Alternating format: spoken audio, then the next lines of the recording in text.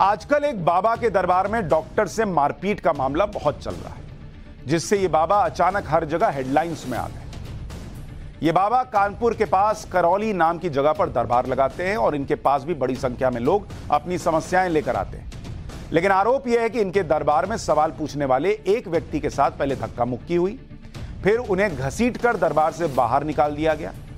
दरबार से बाहर निकलने के बाद बाबा के स्टाफ ने जमकर मार पिटाई की यह आरोप लग रहा है।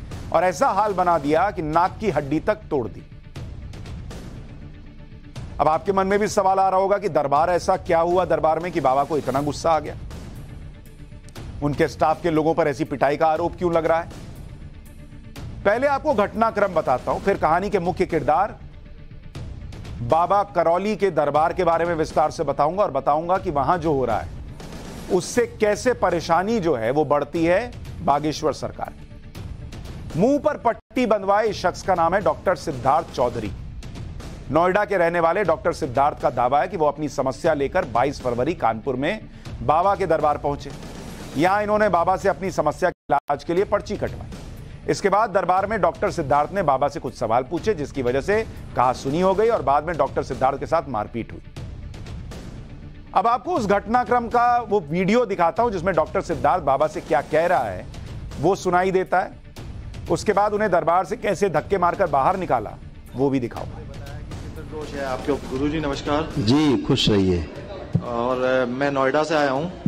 नोएडा। मेरे घर में थोड़ा समस्या ये है कि गृह कलेश रहता है। और किसी ने मुझे बताया कि पितृदोष है आपके ऊपर। तो कई मित्रों ने और मेरे भाई ने बताया कि एक बार आप वहाँ जाइए तो कुछ वहाँ चमत्कार होते हैं। तो मैं आपका चमत्कार देखने के लिए आया हूँ आज। यहाँ चमत्कार तो कोई होता नहीं है। यहाँ जो होता है सब नियम से होता है। जी। है ना?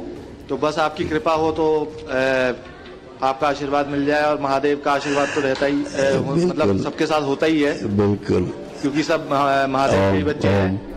तो आपका आशीर्वाद मिल जाए तो सब सही हो जाए शायद। बिल्कुल सब अच्छा होना है। अब अच्छा आप लोग अच्छे हैं ही। समझ रहे हैं? जी।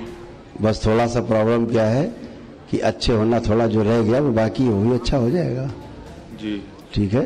अच्छा कुछ अ, अ, मित्रों ने मेरे बताया और भाई ने बताया कि भाई ये मौलाना का चक्कर क्या है? ये तुम्हारे अंदर कोई मौलाना या आत्मा तो नहीं घुस गई है? तो मैं पेशे से डॉक्टर हूँ। तो मैंने कहा कि मैं देखूँगा जाके मैं कि भाई क्या है मामला। हाँ हाँ आप बोलते रहिए आप बोलते रहिए। तो मैं भी देखना चाह रहा हूँ कि आत्मा कैसे निकलती है और कैसे जो है उसके बाद कैसा महसूस किया जाता है। उस, उस उसको मैं महसूस करना चाह रहा हूँ जरा क्योंकि आपका प्रोग्राम भी लाइव चल रहा है। अच्छा है महसूस कर लेंगे समय पे आइएगा फुर्सत में। नहीं तो और नहीं ये लाइव चल रहा है तो मैं देखना चाहता हूँ क्या? शक्तियाँ। चैलेंज कर रहे हो? चैलेंज कर रहा हूँ बिल्कुल। क्या चैलेंज कर रहे हो? यही चैलेंज कर रहा हूँ कि दिखाइए आपको चमत्कार। क्या दिखाएँ? जो आप दिखा सकते हैं चमत्कार। क्या दिखा दें? भाई आप दिखाइए ना जो आप दिखा रहे हैं। क्या चाहते हो? आप दरबार में सबको दिखा रहे हो कि भैया आपने आत्मा निकाल दी और मौलाना निकाल आत्मा निकाल दी? हाँ। उनसे पूछो जिनकी निकलती है। अच्छा। हाँ। चलो उनसे भी पूछ लेंगे। पूछ लो जिनकी ठीक है निकली पूछ लेंगे। हाँ। हाँ। उसी। पूछ लो ना। ठीक धन्यवाद। जिसकी निकली है। ठीक धन्यवाद धन्यवाद। बहुत बहुत बहुत अच्छा लगा आपसे मिलकर ये वो बातचीत है। इस बातचीत के बाद डॉक्टर सिद्धार्थ ने कुछ और सवाल भी किए जिससे बाबा को लगा कि वो उनका अपमान करने के मकसद से आया है। इस पर बाबा नाराज़ हो गए और स्टाफ से बाबा को अ, उस व्यक्ति को डॉक्टर को बाहर निकालने के लिए कहा। इसके बाद क्या हुआ वो भी देखिए।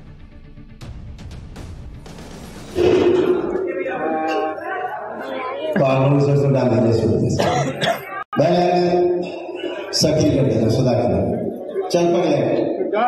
चल चल आप हो गया पाई ना? इधर पाई मैंने समझा के रखा अपने गाड़ियों को। अभी तुम्हारी हो जाए तबियत ठीक। अभी तुम्हारी तबियत ठीक हो जाए दो मिनट। पकड़े। इस पागल को बाहर निकालो। चल बाहर पागल। तलब पागल नहीं है।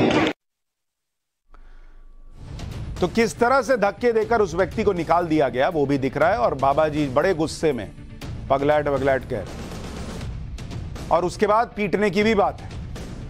आमतौर पर हमारे यहाँ संतों, धर्मगुरु और बाबाओं को शांत स्वभाव का समझा जाता है। वो भले ही कुछ भी करें, धर्म का प्रचार प्रसार करें या लोगों की समस्याएँ ठीक करने का दावा करें, लेकिन व्यवहार में तो कम से कम सौम्य हो।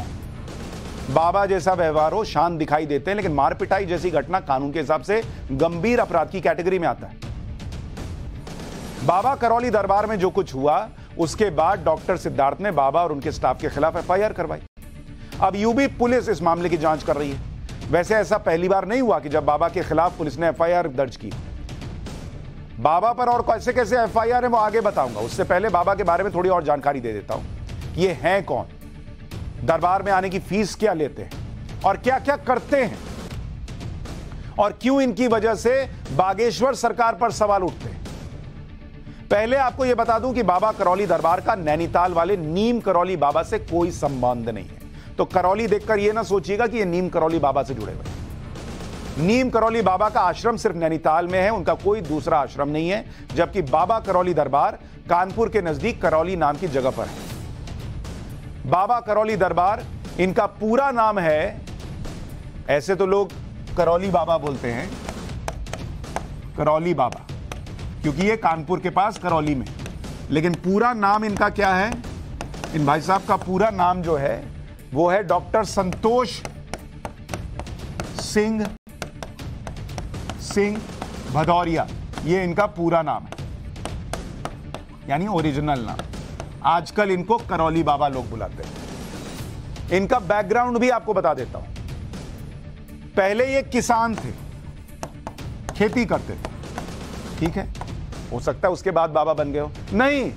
उसके बाद फिर ये आयुर्वेद के डॉक्टर बने। आयुर्वेद डॉक्टर बने। ठीक है भाई, हो सकता है डॉक्टर बनने के बाद फिर इनको लगा होगा कि बाबा बन जाते हैं। नहीं, इसके बाद ये किसान नेता बने। मतलब इनको पॉलिटिक्स का भी शौक चढ़ा तो ये किसान नेता बन गए। इसके बाद हो सकता है ये बाबा बन गए हों। इसके बाद इन्होंने तंत्र मंत्र से इलाज किया। ये शुरू किया इन्होंने तंत्र मंत्र से इलाज। उसके बाद कानपुर के करौली में थोड़ी ज़मीन खरीद ली। और शनि मंदिर बनवाया। ये इनका काम चल रहा है। मतलब जैसे हम और आप नौकरियाँ बदलते हैं, ये भी अपना काम बदलते जा रहे हैं। और फिर आश्रम बना दिया। मतलब बाबा की यात्रा में संतोष सिंह ने कई पड़ाव देखे। एक दिन में बाबा नहीं बने। कई चीज़ें ट्राई करने के बाद उनको लगा, नाउ लेट्स बिकम बाबा. आज की स्थिति यह है कि यहाँ हज़ारों लोगों की भीड़ आती है, जो अपनी अपनी समस्याएँ लेकर आते हैं। लोगों की समस्याओं के हिसाब से आश्रम की बकायदा फ़ीस ली जाती सौ रुपए से लेकर डेढ़ लाख रुपए की पर्ची कटती इसके बारे में भी बताऊँगा कि डेढ़ लाख रुपए लेकर बाबा करौली दरबार किस तरह का इलाज करते हैं, लेकिन उससे पहले दरबार में किस तरह की बीमारियों का इलाज किया जाता है, पहले वो बता देता हूँ।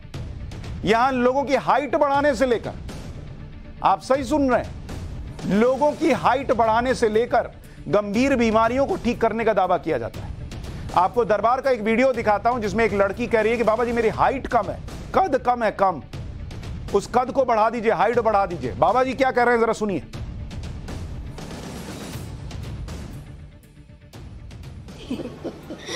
बाबा जी इतनी। अच्छा ठीक आँखें बंद ओम। इनकी ढाई से तीन इंच लंबाई बढ़ाने की स्मृति डाल दी जाए इच्छा विचार साहब भर दी जाए। ओम। कह रही तो बढ़ानी पड़ेगी। ओम। बढ़ा दीजिए ढाई से तीन इंच लंबाई। ओम। शिव। सक्रिय कर दी जाए स्मृति आगे रखी जाए। पीछे भी रहे तब भी स्मृति सक्रिय रहेगी। लंबाई बढ़ा दी जाए बैलेंस। तीन बार बोलिए ओम नमः शिवाय। ओम नमः शिवाय ओम नमः शिवाय ओम नमः शिवाय। बैलेंस। आँख खोलिए। अब आप मूवमेंट करेंगे तो आपको लगेगा कि आप लंबे हो गए हैं और वही स्मृति आपकी आपको लंबा करेगी। कैसा लग रहा है? हैं? लग रहा है कि मैं लंबी हो रही हूँ। हाँ। जी। तो वो स्मृति आप में आ गई है अब यही स्मृति आपको लंबा करेगी जी बाबा जी। एक पाँच छः महीने में लंबी हो जाएँगी। जी बाबा जी। वो समस्या ना यहीं पर है। अब ये शिव जी का यही काम बचा है कि वो लोगों की हाइट बढ़ाएँगे। एक बाबा के बोलने पे कि हाइट बढ़ा दीजिए। कितनी हाइट बढ़ी लड़की की? एक सेंटीमीटर भी बढ़ी क्या? ये हिंदू धर्म को लेकर जो सवाल खड़े होते हैं, वो ऐसे बाबाओं की वजह से खड़े होते हैं। आप ये सब करेंगे तो लोग तो सवाल खड़ेंगे खड़ा करेंगे इतना पुराना सनातन धर्म, वहाँ एक से एक जो है महान ऋषि हुए, यहाँ भाई साहब बैठ के हाइट बढ़ा रहे हैं, पाँच छह इंच। ओ शिव हाइट बढ़ा दो। ये ये काम बचा है भगवान शिव का हाइट बढ़ाने का। ऐसे लोगों की वजह से कोई बागेश्वर सरकार हो, कोई दूसरे बाबा हो, उन लोगों को सवाल झेलने पड़ते हैं। करौली बाबा किस तरह से आँखों की एक गंभीर बीमारी ग्लूकोमा का इलाज कर रहे हैं उसका दावा कर रहे हैं। क्योंकि इस बीमारी में मरीज़ की आँखों की रोशनी भी चली जाती है लेकिन बाबा सबके सामने ग्लूकोमा की सर्जरी कर रहे हैं। पुरानी आँख निकालकर नई आँख लगवा रहे हैं सबके सामने। जरा देखिए। बच्चे खड़ा। इधर आओ बेटा खड़े हो सामने। सामने खड़े हुई आँखें बंद पापा कर। मेरा आठ पर ऑपरेशन हो चुका है। अच्छा कोई बात नहीं आँखें बंद करो। ओम इस बच्चे की आँखों का परीक्षण किया जाए। इसको साफ़ नहीं दिखता? नहीं दिखता? ठीक परीक्षण किया जाए आँखों का। और ग्लूकोमा नामक जो असाध्य रोग है जिसकी संसार में अभी तक कोई चिकित्सा नहीं है कोई दवा नहीं उसकी सर्जरी की जाए। आँखें बंद, सुश्रुत, इसकी सर्जरी आप करें। देखो सब लोग, ग्लूकोमा की सर्जरी हो रही है। कैसे की जा रही सर्जरी, देखो सब लोग।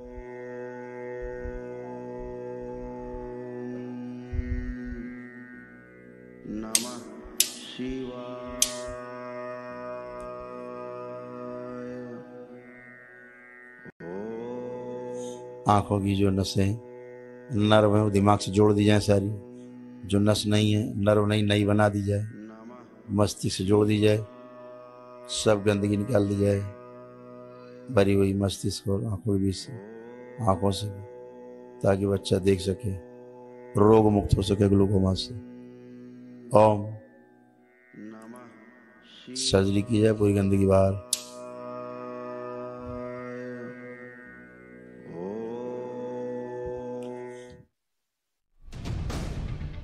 अब ये भाई साहब, बाबा जो हैं, ये बैठ के कह रहे हैं कि सर्जरी कर दो, गंदगी निकाल दो।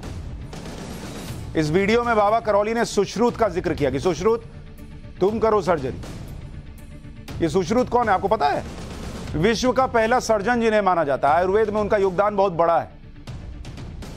वो वहाँ से ऐसे कमांड दे रहे हैं, जैसे वहाँ से कहीं से सुश्रुत जी जो हैं, वो बैठ के बच्चे का इलाज कर रहे हैं। ये क्या, ये हिंदू धर्म का ये लोग क्या कर रहे हैं? यहाँ बाबा अपने योगदान से मरीजों का इलाज करने का दावा कर रहे हैं।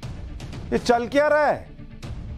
इनकी वजह से, ऐसे, ऐसी चीज़ों की वजह से जो धर्म का प्रचार प्रसार करते हैं, उनको भी सवालों के कटघरे में खड़ा कर दिया जाता है।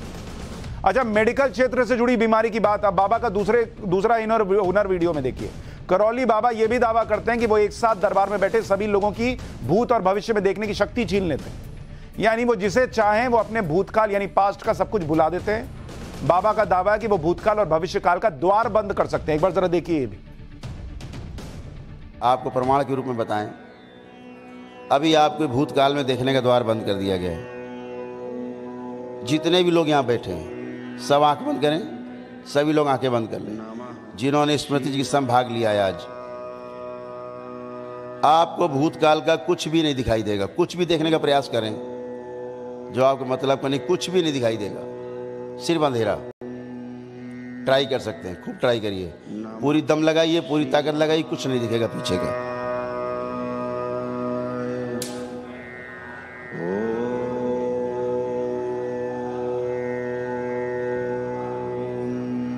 किसी को दिख रहा है कुछ? अगर किसी को दिख रहा हो तो हाथ उठाए।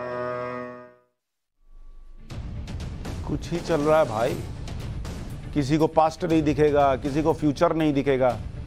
बॉस वहाँ किसी को दिख रहा हो, ना दिख रहा हो, पाठशाला में सबको दिख रहा है कि यह क्या खेल चल रहा है। करौली बाबा के दरबार में दावा किया जाता है कि यहाँ असाध्य रोगों का इलाज हो जाता है, यानी जिनका कहीं इलाज नहीं, उनका इलाज वो कर रहे हैं। और इसी के चक्कर में बड़ी संख्या में लोग पहुँचते हैं। दरबार में सबसे पहले रजिस्ट्रेशन होता है सौ रुपया लेकर। रजिस्ट्रेशन के बाद पूजा कराने के इक्यावन सौ रुपए लिए जाते हैं।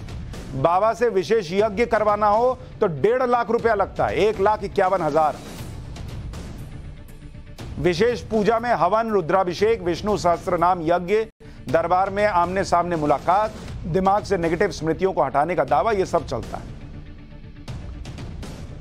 अब ये लोग ये पैसा लेके काम करते हैं, इसके चक्कर में जो व्यक्ति कोई पैसा नहीं ले रहा, जो सनातन की बात कर रहा है, बागेश्वर सरकार, वो भी सवालों के घेरे में आ जाते हैं। लोगों को लगता है वो भी पैसा लेते होंगे।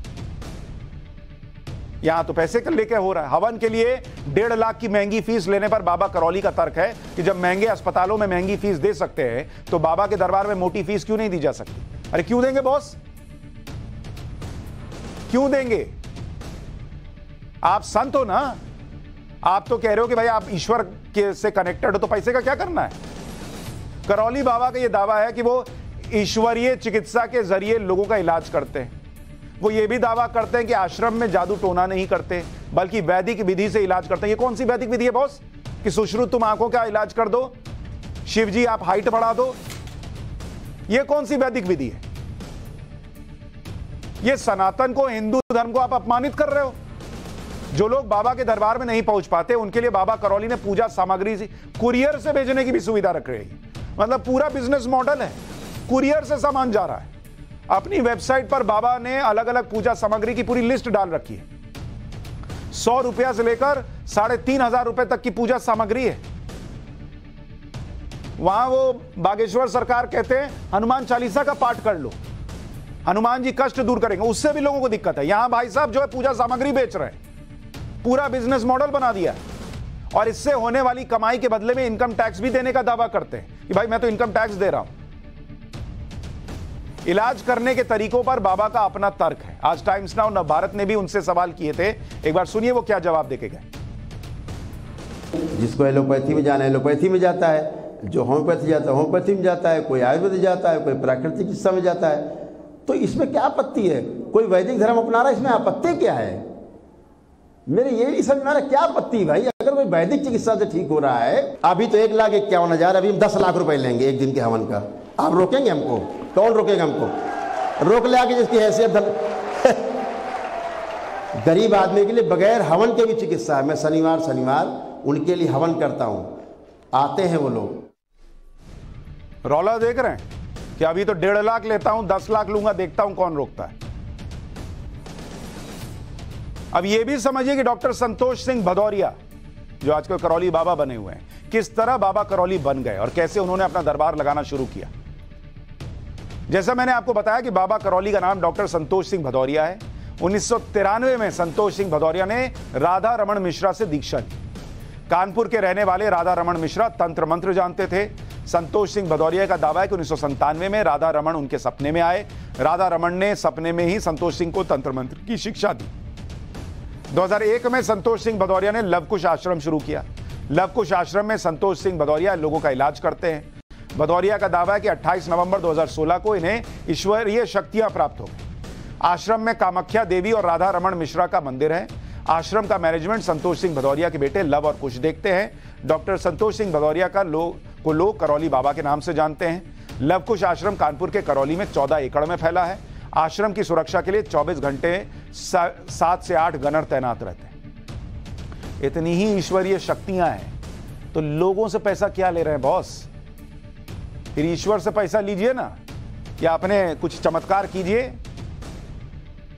इतना भगवान शिव जी को कह रहे हैं हाइट बढ़ाइए, सुश्रुत को कह रहे हैं, इलाज कीजिए। तो लक्ष्मी जी को भी बोलिए कि मेरे अकाउंट में डाल दीजिए पैसा। लोगों से कहे ले रहे हैं?